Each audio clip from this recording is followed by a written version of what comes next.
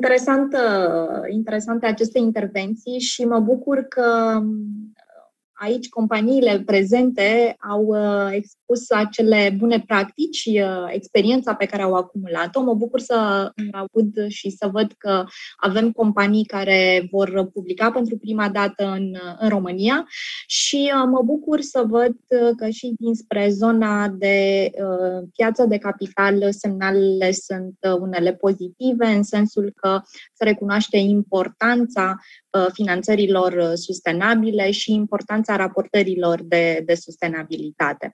Așa cum uh, spunea și uh, doamna Anca Dragu la început, uh, la început evenimentului, România nu trebuie să piardă acest tren, cel pe care um, îl poate aduce aceste finanțări sustenabile. În acest sens, aș reveni un pic la, la Gaetano și aș vrea să, să-l întreb, acum că am văzut toate, am ascultat toate aceste intervenții și am văzut și perspectiva autorităților, Uh, și uh, perspectiva companiilor, din punctul lui de vedere, uh, care consideră că este impactul noii directive asupra companiilor din România? Mulțumesc, Miana. Um, impactul general depinde foarte mult de cât companiile și vor pregăti din timp pentru a putea raporta aceste informații de sustenabilitate după, după, nouă, după indicațiile noua directivă și după standardul european de raportare de sustenabilitate. Dar cred că impactul cel mai mare, uh, din punctul meu de vedere, este acel faptul de că aceste informații se vor publica împreună cu raportul de management al companiilor. Și atunci asta înseamnă că anumite procese trebuie să se armonizeze în cadrul uh, companiei, uh, atât pentru colectarea informațiilor, pentru informațiilor financiare și informațiile de sustenabilitate. Uh, timing trebuie tot așa, trebuie să se armonizeze, având în vedere că acum unele companii publică informațiile în cadrul raportului de management și altele publică la sfârșitul lunii, la sfârșitul, la sfârșitul lunii iunie în fiecare an. Ehm, și un alt impact este alocarea de resurse, a resurse de timp, resurse umane, costurile cu care vor veni aceste noi prevederi care trebuie respectate și tot așa legată de aceste rapoarte de management pe care, pe care conține și informații, care va conține și informațiile de sustenabilitate, este modul în care conținutul este armonizat unde introduci, se introduc informații, astfel încât să nu, să nu se riscă dublarea informațiilor și să fie stakeholder, investitorii să găsesc informațiile de care au nevoie, de care au nevoie în mod simplu. Mulțumesc, Gaetano. M-aș adresa acum reprezentantului Alro, doamna Ana Maria Imbre, și aș vrea să, să o întreb Uh, dintre modificările tocmai menționate de, de colegul nostru Gaetano, care considerați că este cea mai dificilă pentru o companie? Mulțumesc mult pentru această întrebare, Mihaela.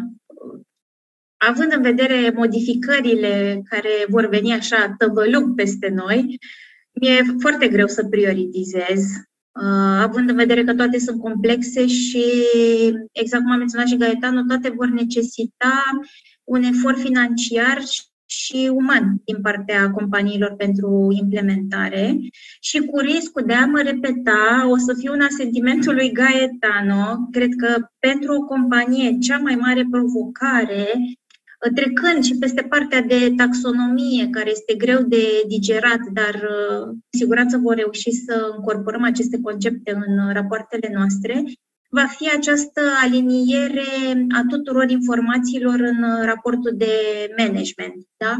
Discutăm uh, de raportul anual, în care avem acea parte de început, raportul administratorilor și cu situațiile financiare, și în care vom include și această raportare nefinanciară, raport de sustenabilitate, pentru că acum cred că e foarte clar pentru toată lumea că discutăm de unul și același lucru, care, uh, dacă avea termen de raportare până acum la 30 iunie, el se va alinia la um, termenul de raportare a raportului anual și discutăm de aprobarea lui NAGA în aprilie, dar de fapt publicarea convocatorului are loc în martie și trecând prin toate procesele interne de aprobare și la nivelul structurilor uh, uh, de guvernanță din cadrul fiecărei companii, Termenul este undeva la jumătatea lunii martie și știm foarte bine că au fost uh, multe discuții și uh, la nivelul uh, bursei și la nivelul ARIR pentru a încerca companiile să decaleze aceste termene de raportare pentru a fi cumva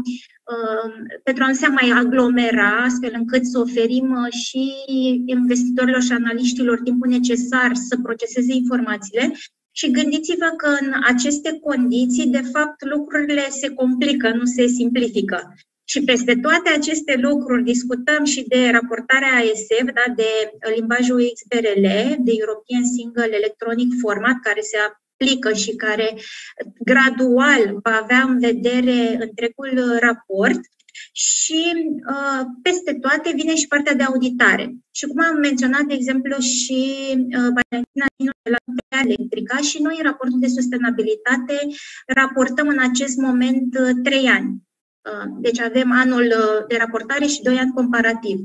Gândiți-vă, și cred că acesta va fi hot topicul uh, discuțiilor viitoare cu auditorii, um, ce va trebui auditat. Adică uh, discutăm ca și în cazul uh, situațiilor financiare de auditare a soldurilor inițiale, se va merge în continuare cu raportarea informațiilor nefinanciare pe trei ani și vor trebui auditați toți, pentru că dacă avem în vedere ce ne-a spus și reprezentantul EFRAG, Prima raportare uh, integrată este așteptată în 2024 pentru anul financiar 2023. Și dacă facem un calcul simplu, luăm trei ani în urmă, de fapt ajungem la anul 2021, adică exact uh, raportarea pe care o pregătim noi în acest moment.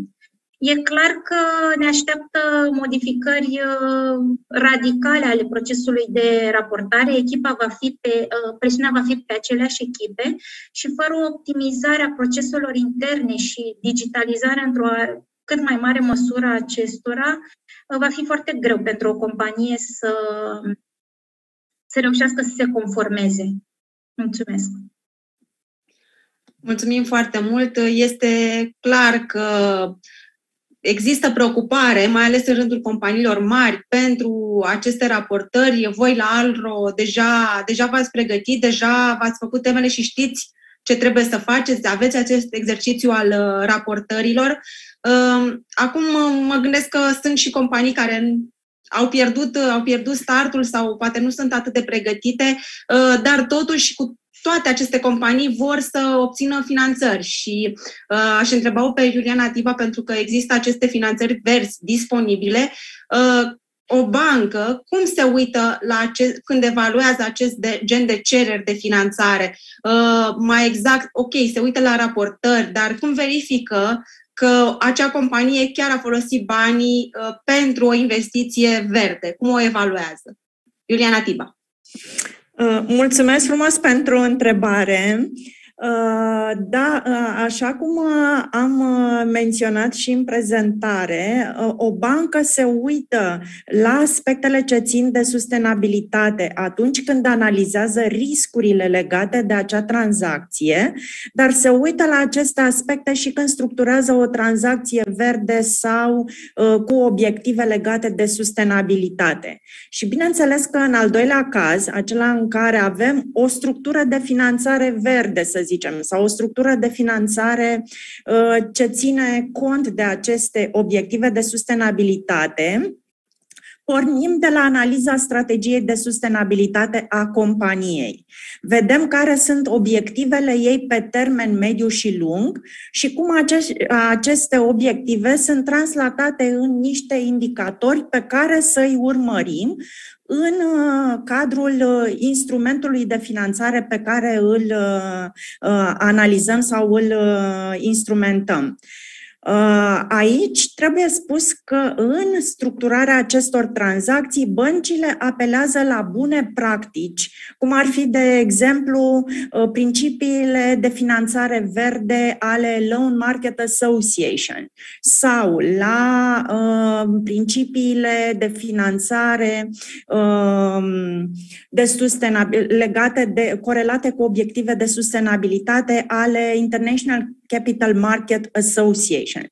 Și toate aceste bune practici au, pe lângă uh, principii foarte clare cu privire la destinația, urmărirea destinației creditului în cazul sau uh, emisiunea obligatare în cazul finanțărilor verzi, uh, dar au și, au și principii referitoare la uh, indicatori de impact Uh, la maniera în care sunt comunicate rezultatele pe acei indicatori de impact. Și mai mult decât atât, uh, noile cerințe prevăd chiar o verificare externă de către un terț independent, fie că vorbim de un auditor sau um, uh, de o companie specializată de rating ESG, care să valideze să zicem, într-o primă etapă uh, elementele ce țin de structurarea finanțării și ulterior elementele ce țin de impact sau de uh, performanță în uh, sustenabilitate. Mulțumesc foarte mult! Acum, pentru cei mai puțin pregătiți, o să cer uh, perspectiva consultanților și analiștilor. O întrebare primită de la participanții la acest uh, forum uh, pentru Gaetano Casale mai întâi și apoi Adrian Codirlașu. Care sunt primele trei decizii operaționale pe care ar trebui să le ia o companie care până acum nu s-a preocupat deloc de propria sustenabilitate, în afara, celei, în afara raportării financiare? Gaetano Casale. Da, uh, spunem așa că și dacă o companie nu s-a preocupat până acum de sustenabilitate și asta ce înseamnă, nu a stabilit o strategie, anumite obiective sau nu a, uh, nu a creat acest sistem de management, uh, toate companiile au o anumită performanță de sustenabilitate. Așa cum am spus și la cealaltă întrebare, este foarte important ca compania să știe unde se află, care este performanța sa pe acele trei paliere, economic, partea de guvernanță, partea de mediu și partea socială. Uh, și de a, în momentul în care afla, uh, înțelege unde se află, care este performanța sa, poate să ia toate deciziile cele mai importante pentru a putea stabili uh, obiectivele, strategie, strategia și obiectivele și aceste sisteme de management care ajută la gestionarea atât partea de strategia cât și partea de, de raportare de sustenabilitate. Dar um, o altă decizie, spunem așa, operațională, este crearea um, acel commitment.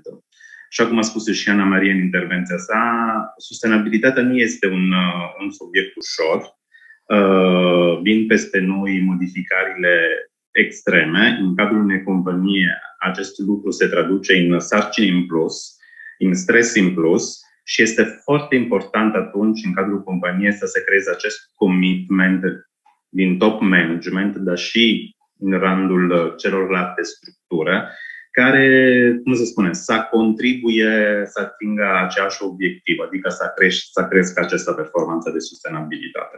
Mulțumesc! Mulțumesc foarte mult. Adrian Codirlașu, trei decizii operaționale pe care ar trebui să le ia o companie care nu s-a preocupat până acum deloc de sustenabilitate. În primul rând, assessment, să vadă unde stă versus reglementări.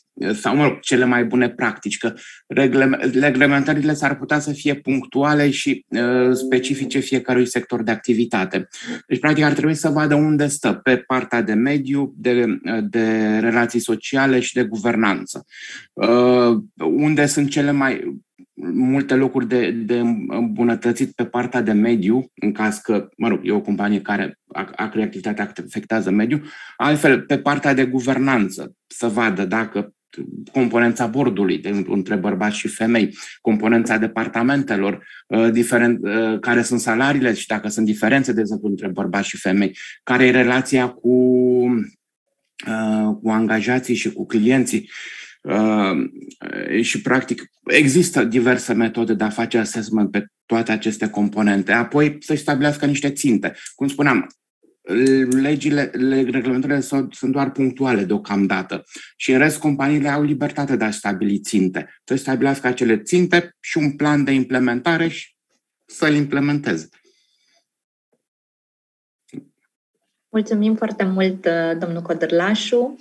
Aș continua discuția noastră cu o nouă întrebare pentru reprezentantul ALRO, pentru doamna Ana Maria Imbre. Și aș reveni la, la, la modificările uh, aduse de această propunere de, de directivă și oarecum în linie și cu ceea ce a spus uh, domnul Cădărlașu. Și mă refer aici la necesitatea publicării în aceste raportări nefinanciare a informațiilor privind modul în care este guvernată sustenabilitatea. Pentru că este o informație extrem de importantă pentru, pentru investitori și pentru alte categorii de stakeholderi, uh, uh, bineînțeles. Și atunci aș ruga-o pe doamna Imbrea să ne spună, în cazul grupului ALRO, cum este guvernată sustenabilitatea. Mulțumesc! Mulțumesc pentru întrebare. După cum bine știm, o bună guvernanță corporativă este importantă în general și asigură claritate pentru toți stakeholderii companiei, pornind de la acționari, investitori, Consiliul de Administrație, conducere executivă. În ceea ce privește sustenabilitatea și guvernanța în această direcție, după cum am menționat, pentru noi este o direcție strategică și toate eforturile pe care le-am făcut în direcția aceasta de a comunica mai bine și de a fi transparenți s-au concretizat din anul 2020 în înființarea unui comitet de risc și sustenabilitate în uh, structurile de guvernanță corporativă ale companiei. Acest comitet este ales de Consiliul de Administrație și are puteri delegate de acestea și printre obiective, bineînțeles că are în vedere supravegherea și formularea de recomandări pentru Consiliul de Administrație, uh, revizuirea politicilor de management uh, al riscului și de sustenabilitate.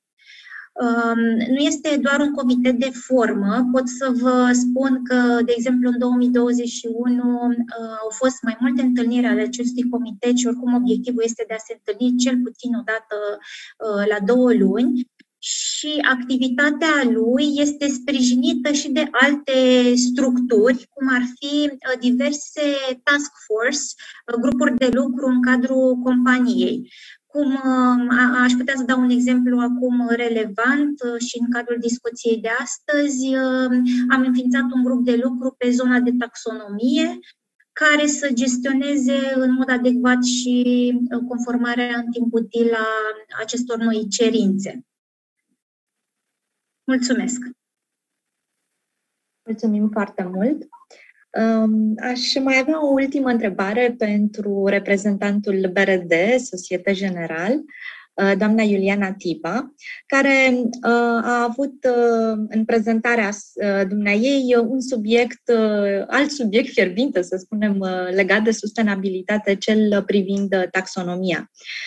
Și aș vrea să o întreb cât de important este pentru o bancă, cât de importante este pentru o bancă informațiile pe care companiile le publică sau ar trebui să le publice legate de partea aceasta de taxonomie în raportările de sustenabilitate având în vedere că începând de anul acesta avem această obligativitate pentru companiile care au peste 500 de, de angajați și în același timp este o obligație și pentru instituțiile și pentru uh, companiile financiare legate de raportarea privind taxonomia europeană.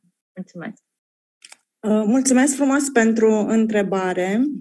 Într-adevăr, uh, așa cum uh, sunt importante toate celelalte informații legate de sustenabilitate Și aici mă refer la uh, aspectele ce țin de comparabilitate, de fiabilitate, de relevanță pentru sectorul sau pentru domeniul de activitate în care un client operează. La fel de importante sunt și aceste informații care uh, trebuie publicate începând cu uh, ianuarie 2022, referitoare la proporția activităților uh, eligibile potrivit taxonomiei în totalul activităților unei companii.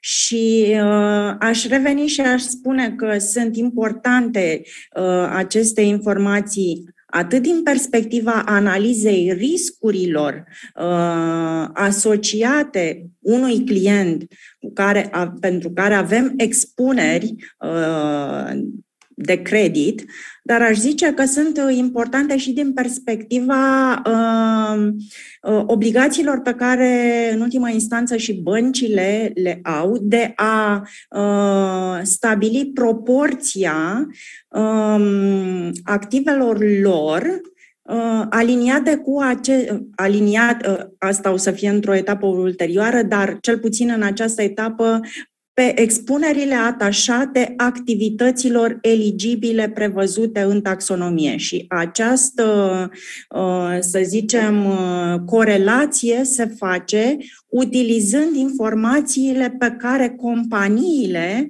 le publică în rapoartele uh, lor cu privire la um, taxonomie. Deci, Bref, aș zice că e foarte importantă informația de această natură și cred că în timp va crește uh, importanța. Cum ziceam, aceste elemente vor permite și structurarea finanțărilor, da? ținând cont de uh, procentul de eligibilitate sau de aliniere la uh, activitățile din taxonomie. Mulțumesc foarte mult pentru, pentru răspuns. Ne pregătim să, să încheiem acest uh, eveniment. Uh, vă mulțumim uh, foarte mult pentru intervențiile dumneavoastră, foarte, foarte utile, sperăm, pentru toți cei care ne-au, ne-au urmărit. Uh, și înainte de a prezenta câteva concluzii, v-aș ruga pe fiecare dintre dumneavoastră dacă doriți să spuneți câte un cuvânt de încheiere, eu știu propriile concluzii pe care le, le puteți trage în urma acestui eveniment sau eu știu semnale de alarmă, tot ceea ce, ce ați dori să, să transmiteți. Și uh, dacă îmi permiteți, aș începe cu uh, colegul meu, Gaetano Cazale. Te rog. Eu aș marca din nou concluzia pe care ai spus-o tu la început, că sustenabilitatea este o oportunitate și raportarea de sustenabilitate reprezintă o oportunitate pentru o companie și și pentru companiile care până acum nu au acordat un, un interes major pe acest subiect. Uh, și este foarte important, concluzia este ca trebuie să ne pregătim pentru ceea ce vine, pentru această nouă directivă pe mm, integrarea informațiilor nefinanciare, raportările anuale ale companiei, raportul de management pentru auditare, dar și pentru taxonomia. Și atunci cred că dacă le vom lua dreptat și ne vom pregăti pentru a formaliza cât mai mult în procedurile companiilor, în procesele și partea asta de e sustenabilitate și de raportare, cred că orice companie poate să profite la maxim de oportunitățile care vor veni. Mulțumesc foarte mult. Ana Maria Imbrea.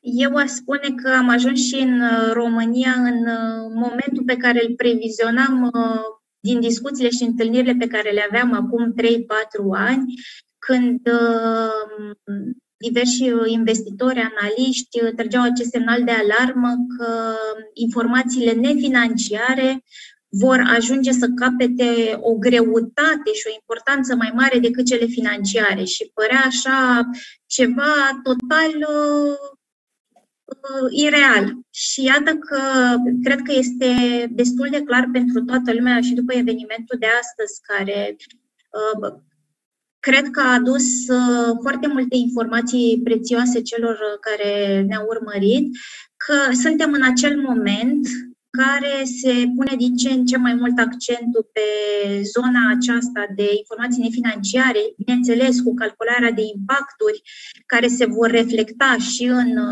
în partea de cifre. Și cum e? Sustainability is here to stay. Deci trebuie să ne împrietenim, nu o să mai putem uh, să, să fugim și Cred că în acest moment cel mai mare dușman al nostru este timpul. Sunt foarte multe lucruri pe care trebuie să le uh, adaptăm pentru a putea să ne conformăm cu toate aceste schimbări în condițiile în care noi, de fapt, trebuie să ne vedem în continuare de, de business și de uh, a uh, conduce aceste activități și afaceri sustenabile dar totodată să reușim să alocăm uh, timp și resurse pentru a raporta ceea ce facem și, bineînțeles, să accesăm această. În viitor vom discuta de accesarea de finanțări uh, verzi. Deci a, acesta este viitorul.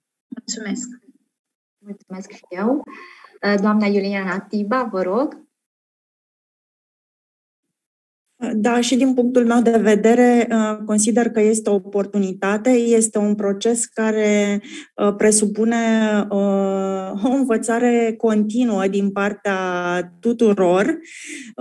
Suntem încă la început de drum în materia aceasta Uh, raportărilor uh, financiare, ținând cont și de aceste aspecte uh, de sustenabilitate și de cerințele din taxonomie.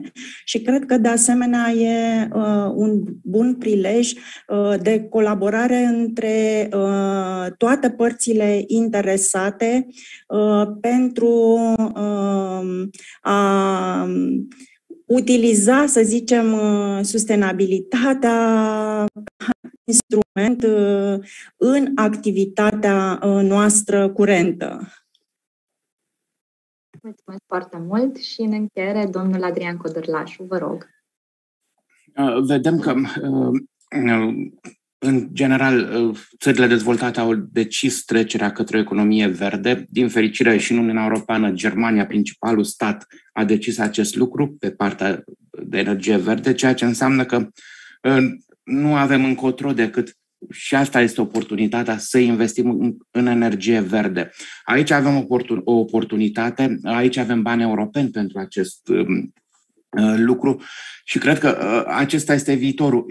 Și de ce este important să investim în energie verde? Pentru că oricum vom plăti prețul uh, conversiei către energie verde. Cum spuneam, cele mai mari state din Uniunea Europeană au luat această decizie. Asta creează volatilitate și o simțim în prețurile energiei. Prin urmare, trebuie să profităm de situație și să investim în, în această formă de energie. Vă mulțumesc! Mulțumesc foarte mult și uh, mulțumesc uh, tuturor pentru, pentru prezență. Înainte de a-i uh, da cuvântul colegei noastre, Adina Ardeleanu, pentru a face închiderea acestui eveniment, permiteți-mi să spun și eu câteva concluzii. Uh, pe care le pot formula și ca urmare a tuturor intervențiilor care au avut loc în cadrul acestui eveniment, dar și uh, în calitate de consultant de sustenabilitate.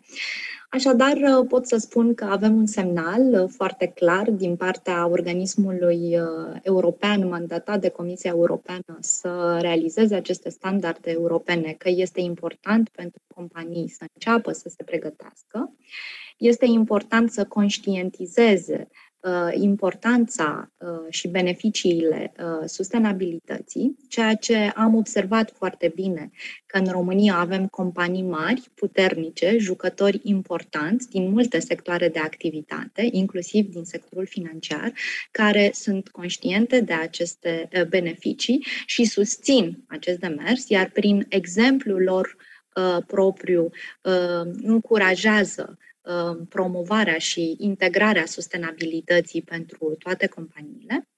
Avem și perspectiva autorităților, unele mai conștiente de acest uh, beneficiu sau de aceste beneficii din partea sustenabilității, altele mai puțin, dar ne bucurăm că avem alături de noi un sprijin, atât în rândul celor de la BVB, care au diferite inițiative pentru a sprijini companiile listate să fie cât mai atractive pentru, pentru investitori, Uh, se vede că avem acolo un motor puternic de dezvoltare al, al economiei și uh, văd foarte bine că, așa cum am spus, avem companii care fac lucruri, fac lucruri importante uh, din perspectiva aceasta a raportării de sustenabilitate. Avem și o bancă mare alături de noi care a venit și ne-a povestit cât de important este, cât de importante sunt aceste finanțări verzi și cât de important este pentru economia noastră să accesăm aceste oportunități. Și uh, aș încheia cu o concluzie că vorbim de oportunități pentru companii, chiar dacă inițial presupune uh, mici costuri, ele pe termen mediu și lung se vor transforma în valoare adăugată, atât pentru ele cât și pentru toți uh, stakeholderii uh, lor. Și uh, cu vorbele doamnei senatoare Anca Dragu, haideți să nu pierdem acest tren. Mulțumesc foarte mult!